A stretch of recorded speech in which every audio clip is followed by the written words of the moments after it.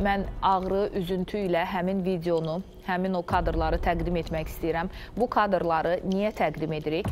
Çünki Əsbət xanım, Əsbət xanım 2 gün bizim efirimizə bağlandı ki, kaşke mən bu kadrları öncədən görsəydim, onun heç səsini belə eşitmək istəməzdim.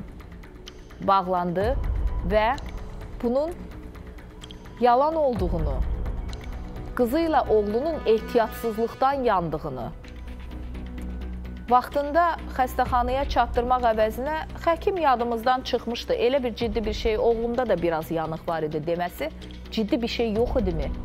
Əsbət xanım, gözünü dörd aç, bilirəm izləyirsən,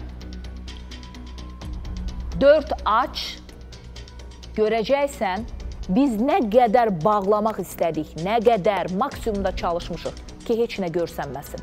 Amma yenə görəcəksən ki, bu ehtiyatsızlıq yanığı deyil. Aşağıda da titrla yazdıq ki, siz başa düşəsiniz qızımız nə deyir. Siz sözlərə diqqət edin, çünki onun danışığından, ağrıdan çox şeyi ifadə edə bilmir və biz onları mən e, sizdən üzr istəyərək təqdim edəcəm. Çünki bilirəm ki, hər dəfə sizə növbəti zərbə yaşanır. Amma məhz hər kəs hər kəs artıq qarşı tərəfin kim olduğunu bilsin deyə təqdim edirik. Buyurun. Düşeceğim, yavşayacağım çiğneklerine derim baba. Ne olur bence böyle, der baba yanında öğrensen. Derim baba,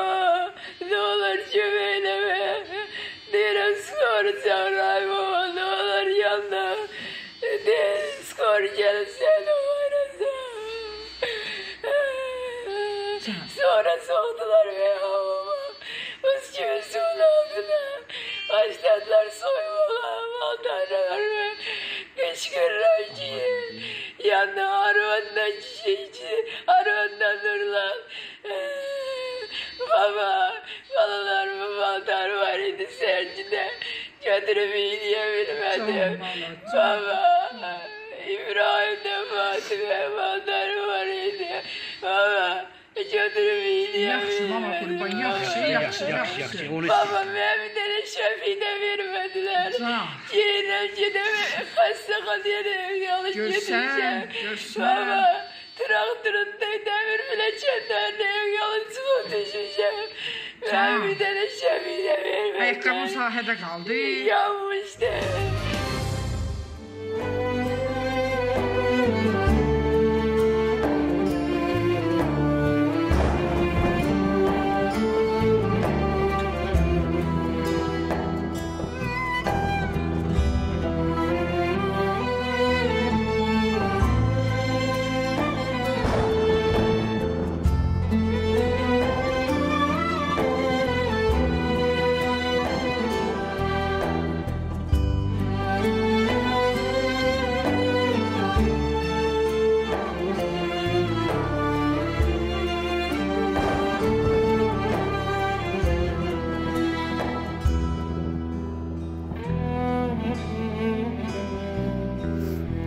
təsəvvür edin.